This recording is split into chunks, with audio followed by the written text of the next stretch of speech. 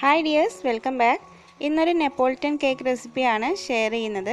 അപ്പോൾ ഇതിൽ vanilla chocolate പിന്നെ സ്ട്രോബെറി എന്ന മൂന്ന് ഫ്ലേവറിലുള്ള കേക്കാണ് ഉണ്ടാവുക. അപ്പോൾ നമുക്ക് വേഗം തന്നെ വീഡിയോയിലേക്ക് പോവാം. ആദ്യം തന്നെ കേക്കിന് വേണ്ടിയിട്ടുള്ള ഡ്രൈ ഇൻഗ്രീഡിയൻസ് ഒന്ന് അരിച്ചെടുക്കാം. ഒരു അരിപ്പയിലേക്ക് ഒരു കപ്പ് മൈദ ഇട്ട് കൊടുക്കാം. അതേപോലെ ഒരു ടീസ്പൂൺ ബേക്കിംഗ് പൗഡറും കാൽ ടീസ്പൂൺ ബേക്കിംഗ് സോഡയും ഒരു നുള്ളുപ്പും കൂടി ചേർത്തിട്ട് ഇതൊന്ന് അരിച്ചു വെക്കാം.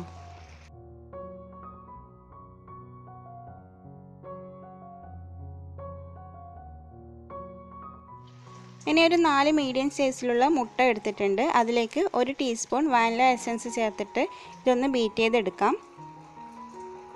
അപ്പോൾ ഇതേപോലെ മുട്ട പതഞ്ഞ് വന്നു കഴിഞ്ഞാൽ ഇതിലേക്ക് അര കപ്പ് പഞ്ചസാര ചേർത്ത് കൊടുക്കാം. അപ്പോൾ പൊടിക്കാത്ത പഞ്ചസാരയാണ് ഇവിടെ ചേർക്കുന്നത്.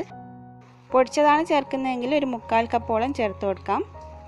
അപ്പോൾ മുട്ട നല്ലപോലെ ബീറ്റായി വന്നിട്ടുണ്ട്. ഇനി ഇതിലേക്ക് ഒരു കാൽ കപ്പ് ഓയിൽ ചേർത്ത് കൊടുക്കണം. ഓയിൽ ചേർത്ത ശേഷം ജസ്റ്റ് ഒന്ന് മിക്സ് ചെയ്തെടുത്താൽ മതി. കൂടുതലായിട്ട് മിക്സ് ചെയ്ത് കഴിഞ്ഞാൽ ഈ പൊങ്ങി വന്ന മുട്ടയൊക്കെ താന്നു പോകാൻ ചാൻസ് ഉണ്ട്. ഇനി ഇതിലേക്ക് നേരത്തെ അരിച്ചു വെച്ചിട്ടുള്ള ഡ്രൈ ഇൻഗ്രീഡിയൻസ് കുറച്ച് കുറച്ചായി ചേർത്തിട്ട് എല്ലാം ഒന്ന് ഫോൾഡ് ചെയ്തെടുക്കാം. അപ്പം അതിനുശേഷം ഇത് മൂന്ന് ബൗളിലേക്കാക്കിയിട്ട് മാറ്റി വെക്കണം. അപ്പോൾ ആ ഒരു വീഡിയോ എടുക്കുന്ന സമയത്ത് റെക്കോർഡ് ഓൺ ആക്കാൻ വേണ്ടി മറന്നുപോയി. അതിന്റെ ഒരു ബാറ്ററിലേക്ക് ടൈഗറിന്റെ സ്ട്രോബെറി മിക്സ് ചേർത്ത് കൊടുത്തിട്ടുണ്ട്. വേറെ ഒന്നിലേക്ക് ഒരു ടേബിൾ സ്പൂണ് കൊക്കോ പൗഡറും കൂടി ആഡ് ചെയ്ത് കൊടുത്തിട്ടുണ്ട്. അപ്പോൾ കൊക്കോ പൗഡർ ചേർത്ത് കഴിഞ്ഞാൽ അല്പം തിക്കായിട്ട് തോന്നുകയാണെങ്കിൽ കുറച്ച് പാൽ കൂടി ചേർത്തിട്ട് ഒന്ന് മിക്സ് ചെയ്തെടുക്കാം. അപ്പോൾ ആദ്യം ഞാനിവിടെ സ്ട്രോബെറിയുടെ കേക്കാണ് ബേക്ക് ചെയ്തെടുക്കുന്നത്. ഇതൊരു സെവൻ ഇഞ്ചിന്റെ റൗണ്ട് ടിന്നിലേക്ക് ഒഴിച്ച് കൊടുത്തിട്ട് ടാപ്പ് ചെയ്ത് പ്രീ ഹീറ്റ് ചെയ്ത് വെച്ച പാത്രത്തിലേക്ക് ഇറക്കി വെച്ചിട്ട് ഒരു പതിനഞ്ച് മിനിറ്റോളം ബേക്ക് ചെയ്യാൻ എടുത്തിട്ടുണ്ട്. അപ്പോൾ ബേക്കായി കഴിഞ്ഞാൽ ഉടനെ തന്നെ ഇത് ടിന്നിൽ നിന്ന് മാറ്റുന്നുണ്ട്. അപ്പം നമുക്ക് ബാക്കിയുള്ളത് കൂടി ഇതേപോലെ ചെയ്തെടുക്കേണ്ടതാണ്. അപ്പോൾ നിങ്ങളുടെ കയ്യിൽ ഒരേപോലത്തെ ടിൻ ഉണ്ടെങ്കിൽ അങ്ങനെ ഒന്നിച്ച് ചെയ്തെടുക്കാം. അടുത്തതായിട്ട് ചോക്ലേറ്റ് കേക്കാണ് ബേക്ക് ചെയ്യുന്നത്. അപ്പോൾ ഇതും ഇവിടെ ബേക്ക് ചെയ്തെടുത്തിട്ടുണ്ട്.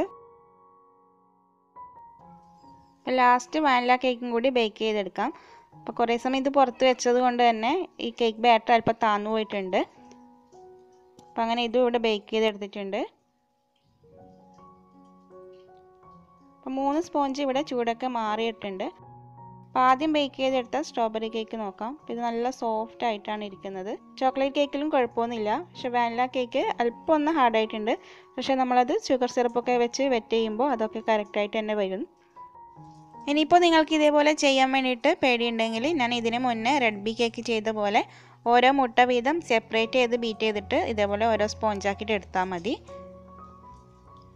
ഇനി ഫ്രോസ്റ്റിംഗ് ചെയ്യാൻ തുടങ്ങാം. ആദ്യം കേക്ക് ബോർഡിൽ അല്പം ക്രീം ആക്കിയിട്ട് ഫസ്റ്റ് ലെയർ ആയിട്ട് ചോക്ലേറ്റ് സ്പോഞ്ച് ആണ് വെക്കുന്നത്. ഇത് ഷുഗർ സിറപ്പ് വെച്ചിട്ട് നന്നായിട്ടൊന്ന് വെറ്റ് ചെയ്തെടുക്കാം.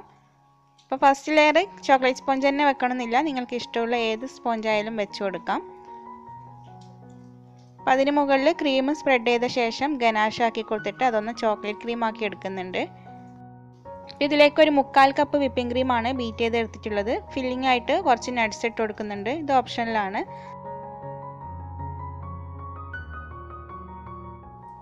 ഇതിന് മുകളിൽ സെക്കൻഡ് ലെയർ ആയിട്ട് സ്ട്രോബെറി സ്പോഞ്ചും കൂടി വെച്ചിട്ട് ഇതൊന്ന് വെറ്റ് ചെയ്ത് ക്രീമൊക്കെ ഒന്ന് സ്പ്രെഡ് ചെയ്തെടുക്കാം.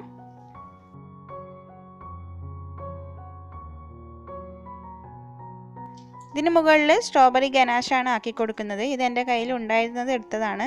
അപ്പോൾ നിങ്ങൾ ചെയ്യുമ്പോൾ സ്ട്രോബെറി കോമ്പൗണ്ട് ഉണ്ടെങ്കിൽ ഒരു ടേബിൾ സ്പൂണ് സ്ട്രോബെറി കോമ്പൗണ്ടിലേക്ക് ഒരു ടേബിൾ സ്പൂണ് നല്ല ചൂടുള്ള വിപ്പിംഗ് ക്രീം ചേർത്തിട്ട് ഗനാഷാക്കി എടുക്കാം.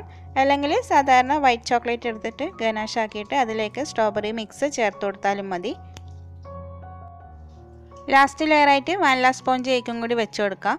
ഇത് അല്പം ഹാർഡായതുകൊണ്ട് തന്നെ ഞാൻ ഇതിന്റെ രണ്ട് സൈഡിലും ഷുഗർ സിറപ്പ് വെച്ചിട്ടൊന്ന് വെറ്റ് ചെയ്തെടുത്തിട്ടുണ്ട്. ഇനി മുഴുവനായിട്ട് ക്രം കോട്ട് ചെയ്തിട്ട് ഒരു പത്ത് മിനിറ്റ് ഫ്രീസറിൽ വെച്ചെടുക്കുന്നുണ്ട്. അതിന് ശേഷമാണ് സെക്കൻഡ് കോട്ട് ക്രീം കൊടുക്കുന്നത്.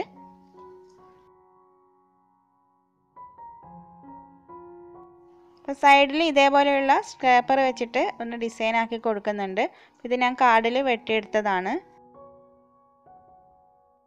ഈ ഒരു ഡിസൈനിൽ തന്നെ ചെയ്യണമെന്നില്ല നിങ്ങൾക്ക് ഇഷ്ടമുള്ള ഡിസൈനിൽ ചെയ്തെടുക്കാം. എന്നിട്ട് ഓരോ ഗ്യാപ്പ് വരുന്നെടുക്കാം. ഓരോ ഗ്യാപ്പിലായിട്ട് ഒന്നിൽ ചോക്ലേറ്റ് ക്രീമും പിന്നെ ക്രീമിൽ അല്പം പിങ്ക് കളർ ചേർത്തിട്ട് ഓരോ ലെയറായിട്ടും ഇതേപോലെ ഇടവിട്ടിട്ട് ആക്കി കൊടുക്കുന്നുണ്ട്.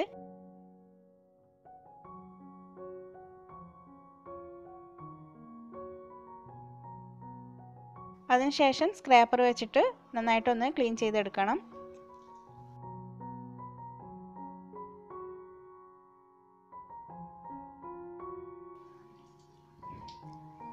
ഇനി ഇത് വീണ്ടും ഒരു പത്ത് മിനിറ്റ് ഫ്രീസറിൽ വെച്ചെടുക്കുക.